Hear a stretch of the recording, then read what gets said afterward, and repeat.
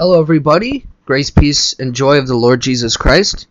Um, today, I'm going to be talking a bit about pain and suffering, um, as this is a question that often Christians get asked, including myself, by uh, atheists, agnostics, mm, skeptics, whatever boat you want to put them in. Um, and they will it will typically go like this: How does a good God allow suffering? And uh, first of all, they're right for calling God good uh, when speaking to a Christian because the biblical God is good and loving in nature um, because God is the greatest conceivable being we can think of, and it is far greater to be loving than hateful. And it is far greater to be um, kind and compassionate than um, uh, ruthless and arrogant or whatever, hate, hateful.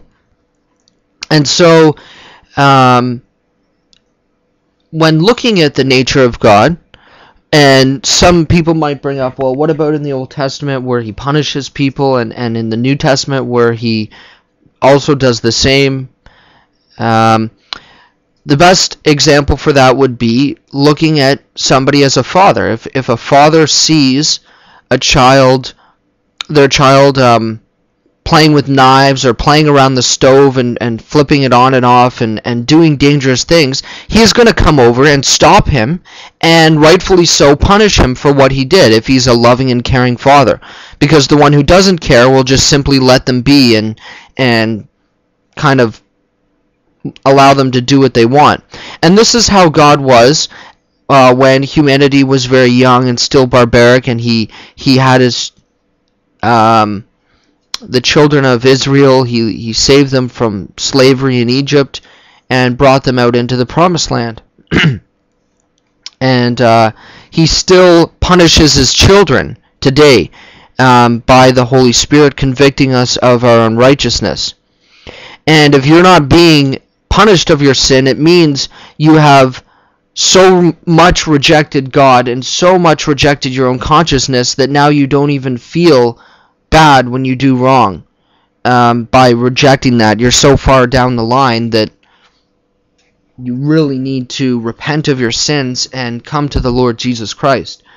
Um, but answering this objection is, of course, it's in God's loving nature to that that through through suffering we learn and we grow.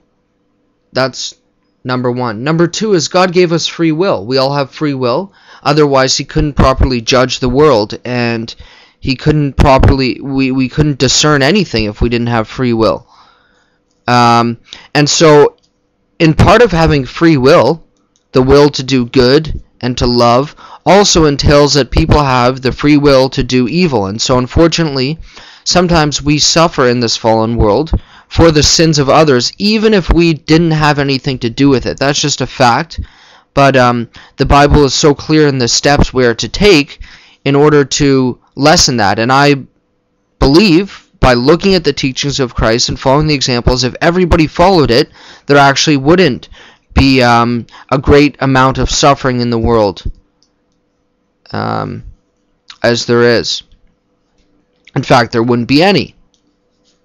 Um, now, continuing forward, uh, we also see that um, through the, the, the, the biblical God became a man in the form of Jesus Christ, and we symbolically call him the Son.